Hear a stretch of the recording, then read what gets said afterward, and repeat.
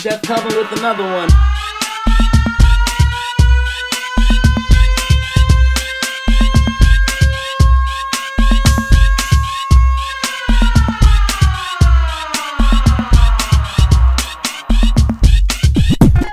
Chef Kelvin with another one.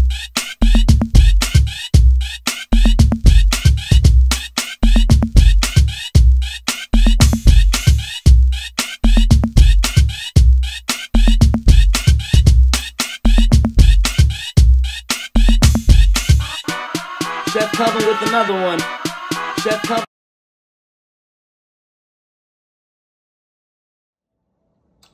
Welcome to another episode of Kelvin's Kitchen, where today it's all about meat and potatoes. Not just any meat. We're doing a prime porterhouse steak.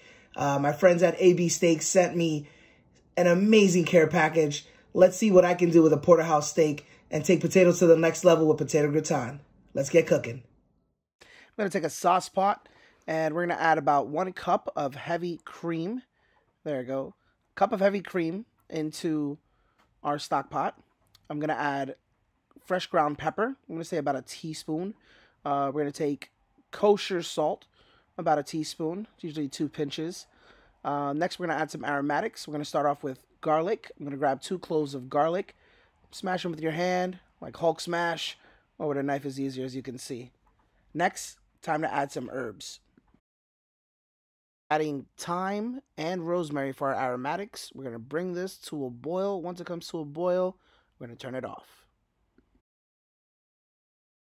All right, so this is a Japanese mandolin. It's one of my favorite, but very dangerous uh, machines. So please be careful. As you can see, I'm adjusting the thickness. I have a clean Idaho potato. Uh, I just want to make sure that it's the proper thickness. That's exactly what we're looking for. Uh, be careful with the slippery potato.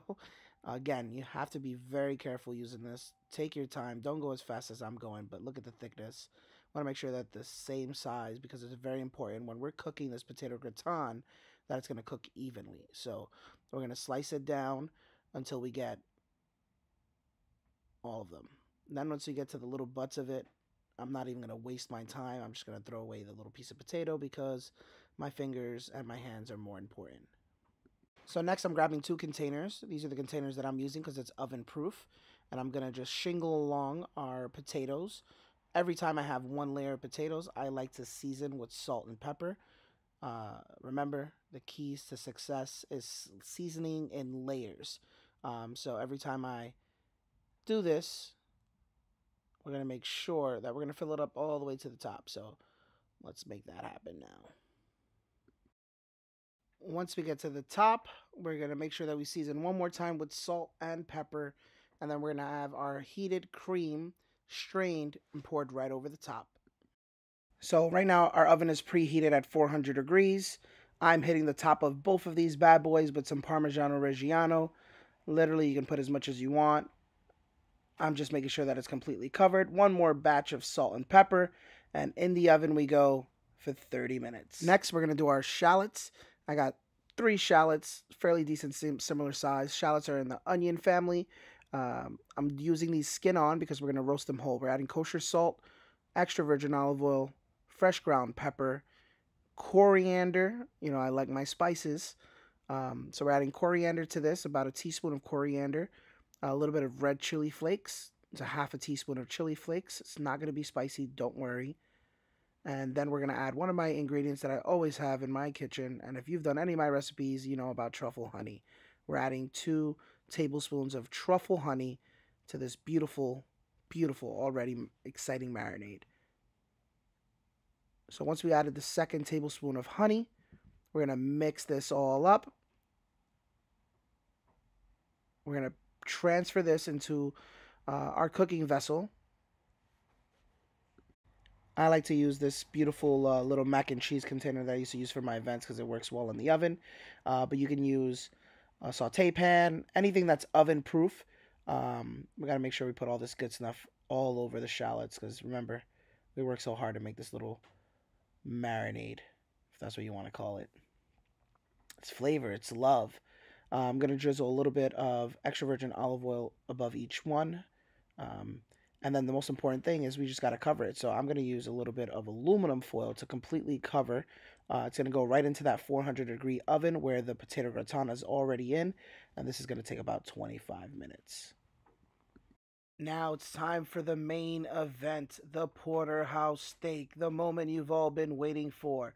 All right, so there's two parts of a porterhouse. This right here is the fillet, then you got the beautiful New York strip, and then you got the bone that's right in the center. Uh, mine came in a vacuum seal, uh, so there's always a little bit of residual liquid. Make sure you pat your steak dry. Uh, this is my second time patting it, so of course it wasn't that perfect. But make sure you pat your steak or any steak that you use um, dry for a while. Uh, most important thing, I also bring my steak to room temperature. It's important to do that if you want a perfect medium steak. If you go and take it out the refrigerator and season it and do a really nice hard sear, which we're about to do, you're going to get a lot of unevenness. So we're going to season both sides with fresh ground pepper uh, and kosher salt. Uh, do not be afraid of seasoning your steak. I'm not asking you to do a salt crust, just asking you to season your steak the way you see me seasoning my steak generously because this is your first layer of flavor. Pat in your seasoning to the steak and let's get ready to sear. So we got a nice cast iron skillet. If you don't have a cast iron, uh, you can use a non-stick pan or anything that you cook your steaks in. Um, my heat is very high. I have it on, I'm going to say high heat. Um, our oven is at 400, so I'm just checking in and seeing how everything's going on over there. This literally took me five minutes to sear on the first side. Um, there's going to be smoke in the house, so be careful. Uh, make sure your windows are open, your doors open and let that beautiful aroma go into the hallways or outside of your house to make everyone smell all the deliciousness that's going on in your house. But um, I got a nice little ventilator above my uh, stove, so it's helping me out a little bit. So this process, I'm fast forwarding it, but it's really taking me five minutes before I turn the steak. I added some garlic, some rosemary, some thyme, uh, because what we're doing is is flavoring the oil. This oil is going right into the steak, and we want to make sure that we're not touching the steak. You see, I'm not playing around with it. I'm not poking at it. Um, I'm giving it its time to do its love. Uh, so after the five minute mark is where you're going to check and see how your steak is looking. Um, if you want to check before that, check at the three minute mark. All right, we're finally time to turn our steak. We're at the five minute mark. Look at this beauty. If yours doesn't look like this, keep it face down until it does. There's a couple spots that aren't perfectly charred the way I wanted to, but I'm going to show you how we're going to accomplish that by basting. Basting is something that I love to do with steak. Um, so right now we're turning it over, giving it its love. I'm doing another five minutes on this side because um, we, for me, I'm looking for a medium steak. So I'm going to do five minutes on both sides and then three to four minutes in the oven and then another three minutes to let the steak rest. We all know that leaving the steak and not touching it is important after it's cooked so all the juices stay inside. After three minutes, I'm to throw the entire pan in the oven for three minutes. All right, so now the steak is out the oven. I'm adding three tablespoons of butter, and we are doing a beautiful butter jacuzzi for this steak. It's actually basting. This is basting 101. Uh, so remember I told you I couldn't get those little pieces on the filet extra charred. I'm going to do that now uh, by making sure that the hot oil, the hotness of the cast iron skillet that was in the oven and on the stove top, we're just making sure that we pour this beautiful hot liquid all over the steak so it's completely covered and beautiful. All right, now we're making sure that we hit every side of the steak in this hot pan with this beautiful butter and herbs and garlic and just full of love. Uh, once we're done with this step, this is the last step. We're letting our steak rest. Don't touch it for three minutes. Let's check our potato gratin next. Let's check our shallots. We should be good to go. All right, so now our steak is resting. Our potato gratin is perfect. I'm taking our shallots out. Our shallots look great. Made a nice little liquid on the bottom. Um, just basically taking a toothpick, making sure it's tender. Before serving, we're going to take out this outer shell, which is our it's its casing that it naturally comes in. And then we're going to pour this beautiful olive oil honey mixture right over our shallots once we plate it. All right, this porterhouse looks incredible.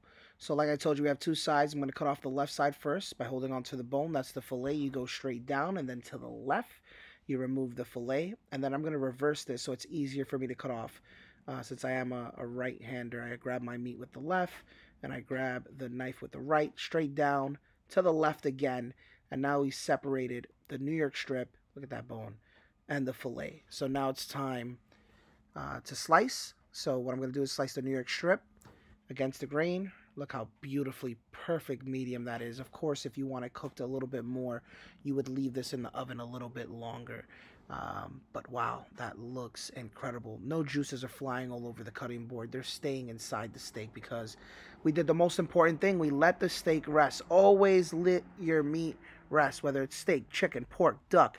Always let it rest. Um, wow, this is incredible. The fillet is tender. I could have used a butter knife for this one. All right, let's move our cutting board out the way. I always have a wet napkin underneath so it's easy and my cutting board isn't sliding everywhere. There's my shallots with the beautiful sauce drizzled. I put some asparagus because we need a little bit of greenery in our plate. The potato gratin is perfect. And let's just reassemble this porterhouse. Let's make this porterhouse as beautiful as we can. Um, you can make a nice chimichurri sauce with this. I'll show you that on the next video. We could do our classic steak sauce by using some red wine. You can do a hollandaise, a béarnaise.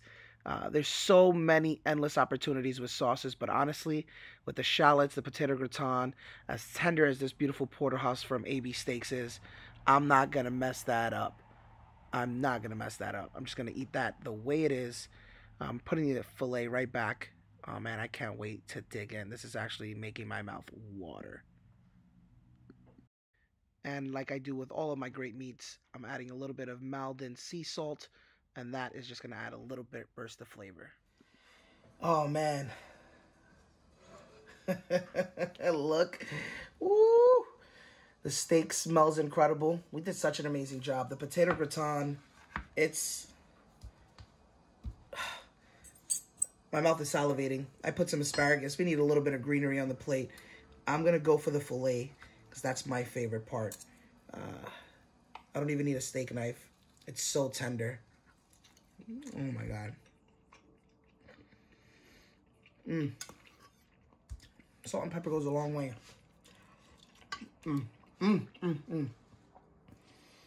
I can't tell you how amazing this is until you do it yourself. The steak is incredibly tender. You got two different textures with the filet and the New York strip. You have the caramelized honey roasted truffle honey shallot that we did. Mmm. Get some oniony flavor. It's a little bit of sweet. We drizzle the truffle honey on top. This is a home run. All right, we got to go for a little bit of this New York strip right here. Look how tender. Oh, my God. It's cooked perfectly for my liking. Two bites and it's gone. Wow. I'm so happy. Of course, if you want the steak cooked a little bit more, you can. But why do it to something that's so delicious? Don't forget to like and subscribe. Thank you for tuning in to another episode of Kelvin's Kitchen. Happy cooking, happy eating. I'll see you next time.